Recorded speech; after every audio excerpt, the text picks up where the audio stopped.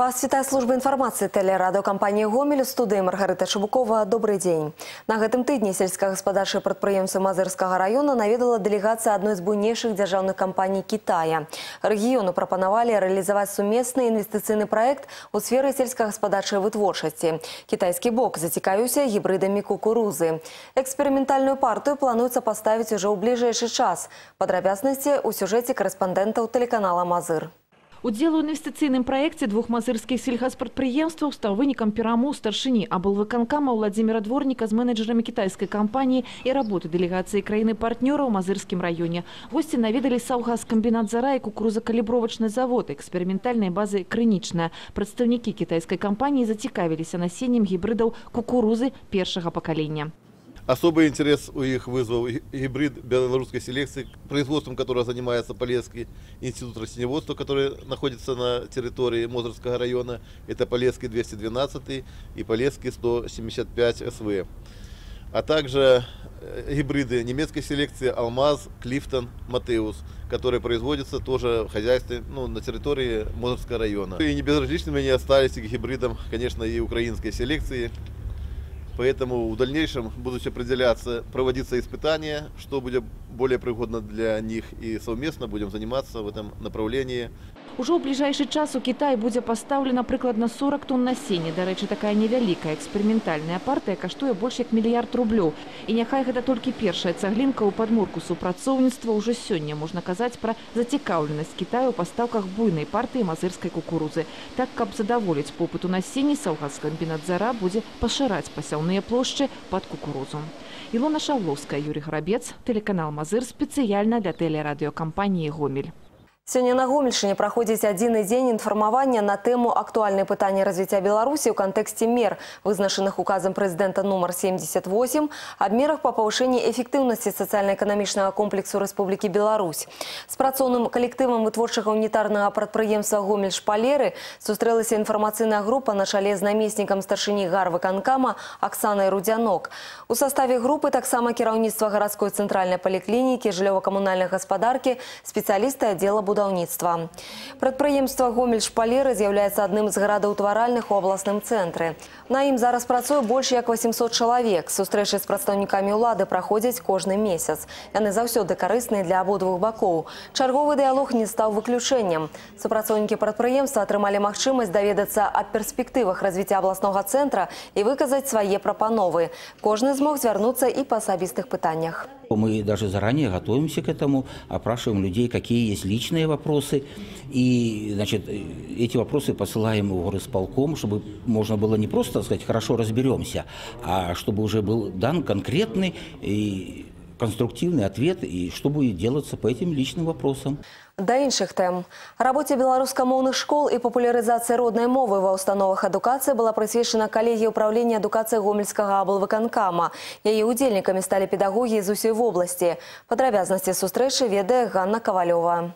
Сёння ў гомельскай вобласці 545 школ, амаль палова з іх беларускамоўныя. Адукацыю ў іх атрымліваюць прыкладна 18 тысяч дзяцей. Дарэчы, незалежна ад мовы, на якой вядзецца навучанне, ва ўсіх установах адукацыі вобласці выкарыстоўваюць розныя формы папулярызацыі беларускай мовы. Ацэнка іх эфектыўнасці стала галоўнай тэмай абласной калегіі адукацыі. На ўсіх ступенях адукацыі э, па заявы бацькоў э, нашы дзеці могуць вывучацца як на беларускай, так і на рускай мове.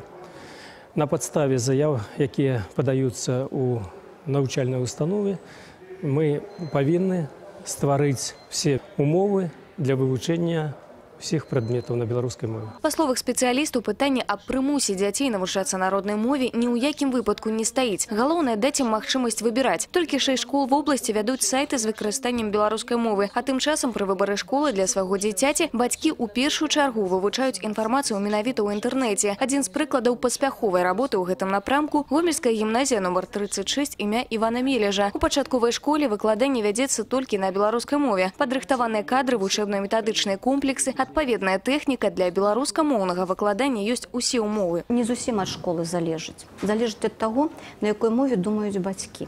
Папулярызацыя, я думаю, што больш праграм на беларускай мове. Больш выступаць і нам настаўнікам на беларускай мове. Напрыклад, мы бацькоўскія сходы праводзім толькі на беларускай мове.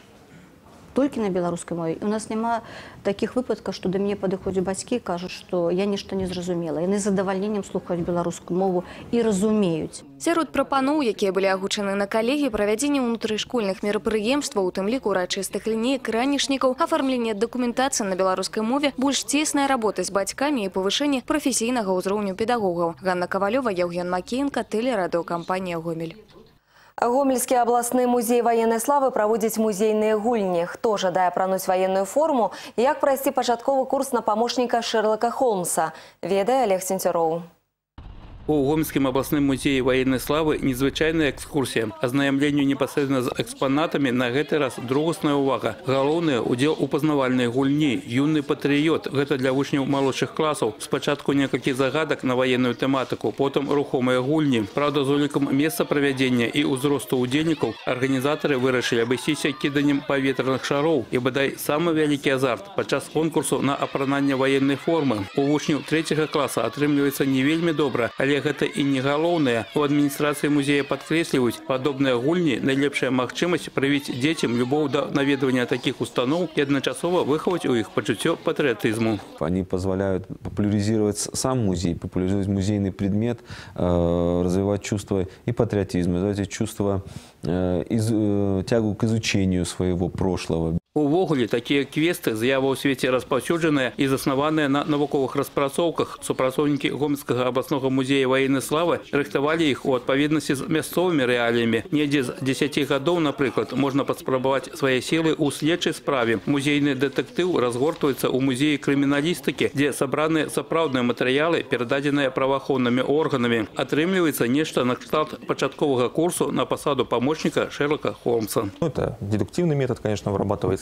Вот на внимание, конечно же, в первую очередь, в общем-то, дак- дактилоскопия та же самая. Вот, ну и другие такие интересные моменты, связанные с историей криминалистики. У гомскім абласным музеі ваеннай славы кажуць, што больш актыўны ўдзел у пазнавальных гульнях пакуль прымаюць школьнікі. Студэнты і дарослыя ці сароміцца, ці ўвогуле б такой магчымасці яшчэ не ведаюць, хоць у музеі іх таксама чакаюць, праўда, крыху пазней. З надыходам цёплых дзён у музеі пачнуцца гульні для дарослых. Яны будуць праходзіць на адкрытай пляцоўцы, каб выканаць заданне удзельнікам прыйдзецца і ў медыцынскі вагон трапіць і на танк залезці. Занятак кажуць вельмі захапляючы. Олег Сенцюроў, Евген Макеенко, тэлерадыокампанія «Гомель». family.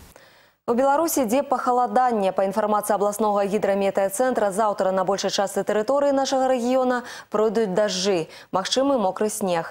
Тэмпература паветра складзе ад 0 да 4 градусаў цяпла ўначы і ад 3 да 7 ў дзень. Вецер паўночны 6-11, у асобных раёнах парывы да 15-18 метраў за секунду. У суботу 19 сакавіка месцамі пройдзе кароткачасовы снег. На асобных участках дарог галалёдзіца. Слупкі тэрмометраў уначы апусцяцца да мінус 9 9. Дзённая тэмпература будзе вагацца ад мінус 4 да 1 градуса цяпла. Адпаведны характар надвор'я захаваецца і ў нядзелю. Часам пройдзе снег, магчыма слабая мяцеліца. Парывы ветру складуць 15-20 метраў за секунду. І аб спорце. У Гомелі праходзіць асабіста каманднае першынство гомельскай вобласці па боксе. Спаборнічаюць спартсмены 2002-2003 гадоў нараджэння. А за баямі на рынге уважліва сушаць трэнеры зборнай каманды вобласці. У чэрвені адбудзецца рэспубліканская спартакіяда сярод баксёраў гэтага ўзросту. І па выніках першынства будзе сфарміравана каманда, якая прадставіць наш рэгіён на спаборніцтвах. А таму відавочна, што ў Гомель з'ехаліся лепшыя. Шанс трапіць у зборную ёсць не толькі ў пераможцаў. Мы пытаемся не упустить даже тех, которые проигрывают, но имеют правильное понимание в боксе. И все тренера, которые с, с области, то есть мы вызываем на учебно-тренировочный сбор, на матчевые встречи, на этих турнирах просматриваем и определяем сильнейших. Кто будет наиболее лучше готов к, к этому старту, тот и поедет. Навіны рэгіёны, інфармацыя о праектах тэлерадыокампаніі «Гомель» вы можете знайсці на нашым сайце ў інтэрнэце па адрасе www.tvrgomель.by. На гэтым выпуск завершаны. У студыі працавала Маргарыта Шабукова. Усяго добрага і да сустрэчы ў эфіры.